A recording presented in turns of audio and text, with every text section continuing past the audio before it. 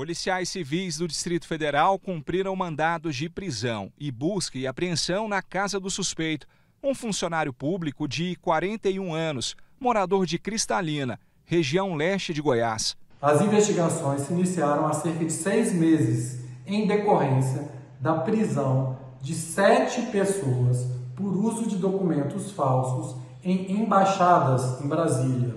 Esses documentos falsos foram produzidos pela pessoa que foi presa na presente data. O funcionário público cobrava cerca de dois mil reais para falsificar os documentos que podem ajudar a pessoa a conseguir o visto, como contra-cheque, declaração do imposto de renda, comprovante de matrícula em universidades conceituadas e certidão de casamento.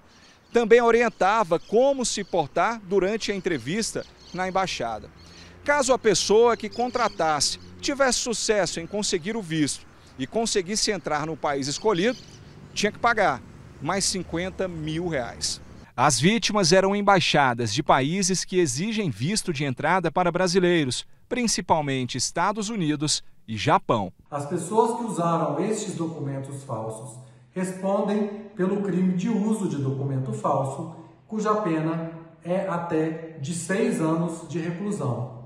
Já essa pessoa que produziu os documentos pode receber penas superiores a 15 anos de reclusão.